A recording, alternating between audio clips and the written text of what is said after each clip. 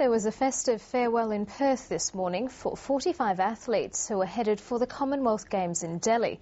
But amid the celebrations, officials voiced concern that athletes were not taking the threat of tropical diseases in India seriously enough. Dozens of athletes took a break from training for a colourful send-off. Kookaburra star Fergus Kavanagh says he's bracing himself for the hot and humid conditions, along with the pressure of competing.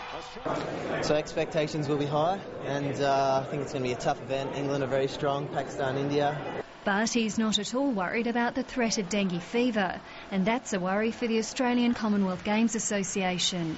That's probably my greatest fear is, uh, is uh, the athletes will not do what they need to do to make sure they don't get dengue fever and they also don't get sick. He says more doctors than ever before will accompany the team, but there's a limit to what they can do. We're taking uh, uh, uh, mosquito repellent, uh, the strongest we can find for that sort of thing. We're talk- taking, you know, uh, zappers for the rooms. We're taking everything we can. But at the end of the day, the athletes have to put it on. You can't have a vaccination for dengue, so we're really going to stress it over there.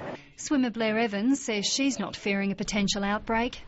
I don't know, I haven't really heard much about it, so I'm not really worried at the moment. But I think Swimming Australia will do the right measurements to ensure that we're safe. The first Australian competitors are expected to arrive in the Athletes Village within the next fortnight for the start of the Games on the 3rd of October. Veronica Buck, ABC News.